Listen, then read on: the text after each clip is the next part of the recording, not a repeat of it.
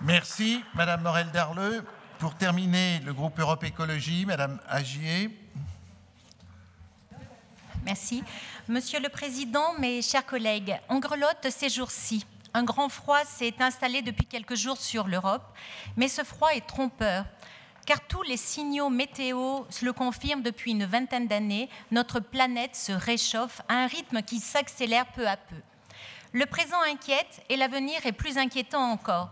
Selon les experts du GIEC, si l'on s'en tient au simple engagement des États pris à Durban, la température pourrait s'élever de 3,5 degrés d'ici à 2100. 3,5 degrés. Voilà qui entraînerait des modifications énormes et de plus en plus rapides pour notre environnement. Ces modifications, on les connaît déjà en partie. Bouleversement de la végétation et des cultures, épisodes de sécheresse et de canicule, ou au contraire inondations de type subtropical, pardon, comme cet été dans le Var, ou encore la fonte des glaciers et menace des écosystèmes fragiles des Alpes. Et puis, il y a aussi l'augmentation du niveau de la mer. En Rhône-Alpes, cette histoire du niveau de la mer est un peu théorique. Mais comment ne pas se sentir concerné en écoutant les habitants des pays qui jouent leur survie? En octobre dernier, le ministre de l'Environnement des Maldives était à la place même que vous occupez, Monsieur le Président, lors de la conférence des régions européennes pour le climat. Les Maldives, 300 000 habitants, une civilisation vieille de 5 000 ans. Monsieur Guéant l'a-t-il recensé et catalogué? Le ministre des Maldives n'a pas pratiqué la langue de bois en interpellant nos civilisations industrielles il nous a dit, vous avez suivi un chemin qui conduit au suicide et aujourd'hui, vous faites des reproches aux autres. Il était question de survie dans ces mots, mais aussi de volonté sincère, du refus du fatalisme, lorsque ce représentant, dont j'ignore l'étiquette politique, a expliqué que son pays comptait agir pour obtenir un bilan d'émissions de gaz à effet de serre nul ou presque en 2020. On sentait de on sentait de la volonté et du pragmatisme lorsqu'il nous a expliqué que les techniques évoluent et deviennent abordables, que même si cela n'est pas parfait, on peut faire beaucoup de choses. Et nous, que répondons-nous aux appels au secours? Quelle part prenons-nous à l'effort international? Cet effort n'est-il pas aussi porteur d'opportunités? C'est à ce niveau de questionnement qu'il faut s'élever pour comprendre l'importance d'un plan climat régional. Certes, il y a les climato-sceptiques, si, si, ça existe et il y en a dans cette salle. Sur deux, ils nous répètent que notre planète s'est toujours adaptée, a toujours accepté les variations de température. Notre planète, oui, mais les habitants de la planète en question, vous y avez pensé? Quel prix vont-ils payer? Si les responsables politiques que nous sommes n'avons pas le courage de changer au plus vite la trajectoire de notre civilisation Actuellement, la région est fortement impliquée dans deux actions importantes. L'une, le schéma régional climat-énergie, est porté par la région en partenariat avec les services de l'État. C'est un document de cadrage impliquant l'ensemble des acteurs de Rhône-Alpes, entreprises, collectivités locales, consommateurs. L'autre, le plan climat régional dont nous parlons aujourd'hui, concerne les actions portées par le Conseil régional et ses services. Vous le savez, en l'état, le premier, le schéma régional climat-air-énergie, n'atteint pas encore l'objectif du facteur 4 en 2050, soit 75% de réduction d'émissions. Raison de plus pour que le deuxième, le plan climat régional, soit ambitieux et efficace pour démontrer que sur le périmètre restreint, mais très diversifiée des politiques régionales de Rhône-Alpes, la transition est possible. Ambitieux, le plan l'est depuis le lancement de la démarche en octobre 2010.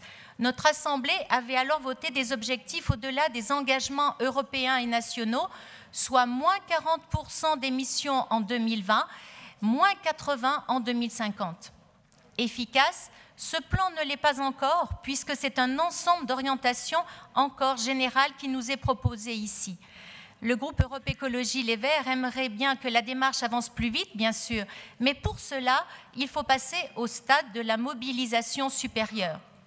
Il faut le dire, Trop peu d'élus ont jusqu'ici assisté aux réunions du comité climat menées efficacement, efficacement pourtant par Benoît Leclerc et Marie-Hélène Riamont.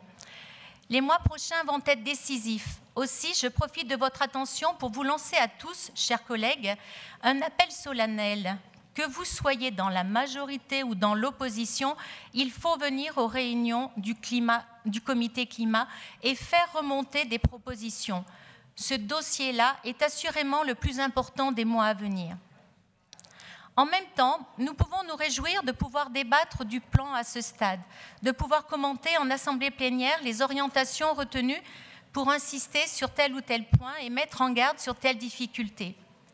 À ce sujet, nous ne comprenons pas bien l'avis du Césaire qui déplore l'inaboutissement du plan climat et en même temps le manque de consultation à son égard. Mais la voilà, la consultation. C'est le moment de faire valoir des propositions. Le groupe Europe Écologie Les Verts approuve le diagnostic et les orientations retenues et votera bien entendu le projet de plan. Nous souhaitons encore une fois souligner son intérêt et son importance et justement la nécessité de son approfondissement opérationnel. Pour préparer ce travail, nous émettons plusieurs remarques et mettons l'accent sur les ingrédients indispensables du futur plan. Le changement du comportement de chacun, Prenons l'exemple de ces 1358 ménages rhône-alpins qui, pour des motivations diverses, ont rejoint cette année le défi de famille à énergie positive. En modifiant seulement leurs gestes quotidiens, ces ménages abaissent de 20% en moyenne leur consommation énergétique, juste en adoptant leur comportement et sans retour à la bougie. Le facteur comportemental est incontournable, mais à cela, rajoutons les travaux pour mieux bâtir, mieux isoler. Ces travaux, créateurs d'emplois locaux, sont indispensables pour de multiples bâtiments municipaux, par exemple. Mais les communes ont bien besoin d'aide sous forme d'ingénierie et de financement optimisé. C'est le volet important de l'opérateur de services énergétiques régional proposé dans cette délibération sobriété, efficacité et bien sûr recours aux énergies renouvelables. Des énergies renouvelables de proximité pour moins de déperdition. Les territoires ont des idées, mais pas les moyens de les mettre en œuvre. L'opérateur OSÉ peut être ce levier pour développer ces structures porteuses d'emplois locaux sans course folle au profit et à la cotation en bourse. Changeons de cap, car nous voyons bien aujourd'hui les limites de l'énergie nucléaire, exception française. Le rapport de la Cour des comptes a parlé et celui de l'autorité de sûreté nucléaire a formulé ses exigences. Qui va payer ces travaux Et la gestion des déchets et les démantèlements futurs? Ces deux rapports apportent vraiment de l'eau au moulin écologiste. Ce plan climat régional, c'est l'occasion de montrer que nous sommes une région Rhône-Alpes et qu'elle est volontariste en la matière, qu'elle peut intervenir, influencer à différents niveaux et solliciter très largement ses partenaires autour d'elle pour des actions que chacun doit s'approprier, car nous n'avons qu'une seule planète. Merci, Madame Agier.